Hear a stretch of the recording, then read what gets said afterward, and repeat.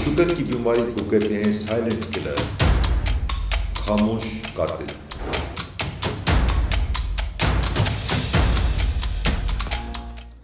मेरा नाम डॉक्टर जमान शेख है। मैं professor of medicine sir Syed medical college में काम करता हूँ।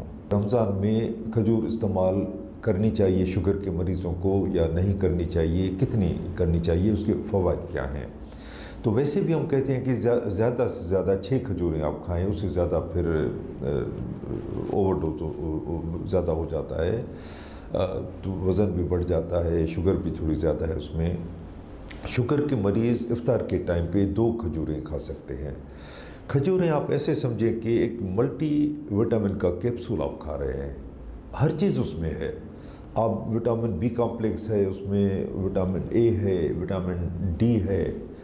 मिनरल जो हैं कापर सेलिनियम जिंक मतलब हर तरह की trace element mineral electrolyte potassium और विटामिन ये सारी एक, यानी एक कैप्सूल आप खा रहे हैं, समझिए। मगर फाइबर भी उसमें बहुत ज़्यादा है, जो सेहत के लिए मुफीद हैं। आपको तजुब होगा, इसमें प्रोटीन भी थोड़ी बहुत है फैट भी है खजूर में, मगर ज़्यादातर कॉम्प्लेक्स कार्बोहाइड्रेट हैं। अच्छा दो खजूरें आप खा सकते हैं। और उसमें एकदम आपको कुत महसूस होगी। आप वैसे भी देखते हैं कि जब हम उम्र या हज करते हैं तो तवाफ़ करने के बाद खजूरें खाते हैं वहाँ की, और अब जमज़म पीते हैं, एकदम फ्रेश हो जाते हैं।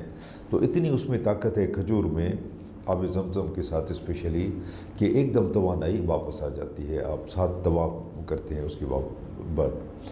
कहने का मकसद ये कि दो खजूरें आप इफ़ार को ले सकते हैं और उसको इंजॉय कीजिए, ये कुदरती मीठा है। और ड्रिंक क्या लें इफ़ार के टाइम पे, ये मैं थोड़ा सा बता दूँ कि जो सॉफ्ट ड्रिंक हमारी हैं, इसमें एक 330 थर्टी जो एवरेज होती है, आजकल तो 500 हंड्रेड की भी आती है बॉटल मगर 330 में छः चीनी के चम्मच के बराबर शुगर होती है, इतनी ज़्यादा शुगर होती है। अच्छा लोग कहते हैं कि डाइट सॉफ्ट ड्रिंक पिए हम। डाइट में तो शुगर नहीं होती। शुगर तो वाकई नहीं होती, मगर उसमें केमिकल बहुत ज़्यादा होते हैं। और ये रिसर्च से साबित हुआ है कि diet soft drink normal soft drink से भी ज़्यादा ख़तरा पैदा करती है बॉडी में, ज़्यादा नुकसान पहुंचाती है, शुगर के मरीज़ों को भी। शुगर होने का ख़तरा बढ़ जाता है अगर आप डाइट कोल्ड ड्रिंक लें। तो ये ना समझें कि इसमें शुगर नहीं है तो डाइट आप कोल्ड ड्रिंक पीते जाएँ, ये इस तरह बिल्कुल गलत है, उसमें बहुत ज़्यादा केमिकल हैं। अगर डाइट पिए कोई भी कोल्ड ड्रिंक तो वो बैक्टीरिया ख़त्म हो जाते हैं। तो जीआईटी या हमारा निज़ाम हज़म है वो डिस्टर्ब हो जाता है और शुगर उनको हो सकती है जो डाइट कोल्ड पी रहे हैं। तो उनसे भी परहेज़ करें नॉर्मल से तो परहेज़ करनी चाहिए। अगर दिल चाहे तो दो तीन घोंट पीने में कोई मसला नहीं है। कहीं भी पार्टी में जा रहे हैं, इफ्तार पार्टी है, अगर चौथा ही आपने बोतल पी ली तो इतना जहर नहीं है, मगर कभी कभार। तो फिर क्या पिए? एक तो लस्सी, नमक मिलावा जो निमकोल कहते हैं वो आप पी सकते हैं। मगर उसमें थोड़ा सा आर्टिफिशियल स्वीटनर डालें शुगर ज़ाहिर है कि नहीं डाल सकते।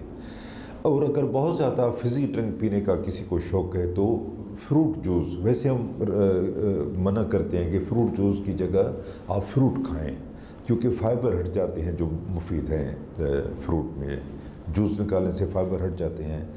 तो फ्रूट जूस आप 50 परसेंट लें। और 50 परसेंट जो एक पानी आता है जो जो बुलबुले उसके उठते हैं सॉफ्ट ड्रिंक की तरह तो वो फिज़ी ड्रिंक वो पानी आता है मिनरल वाटर की तरह। 50 परसेंट वो पानी मिलाएँ 50 परसेंट फ्रूट जूस किसी भी फ्रूट का घर में बना लें। इन दोनों को मिलाएँ तो बेहतरीन एक सॉफ्ट ड्रिंक हेल्दी आपके लिए तैयार होगी, वो आप ले सकते हैं इफ्तार के टाइम पे। बहुत शुक्रिया।